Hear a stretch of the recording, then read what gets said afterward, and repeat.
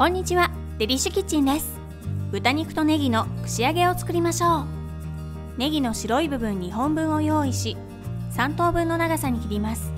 豚バラ薄切り 150g は塩コショウ少々を振ってネギに豚肉を巻きましょう。台の上に3本並べ竹串を等間隔に2本刺し同様に計2個作ります。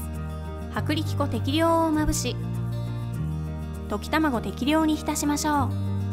続いてパン粉適量をまぶして衣をつけます。鍋にサラダ油を底から2センチの高さまで入れ170度に熱して具材を入れます。きつね色になるまで揚げたら半分に切って器に盛りましょう。ウスターソース大さじ1にお好み焼きソース小さじ1ケチャップ小さじ1分の1醤油小さじ1分の1水大さじ1 2を加えて混ぜ串カツソースを作ったら揚げたての串揚げに振りかけて完成です以上デリッシュキッチンでした。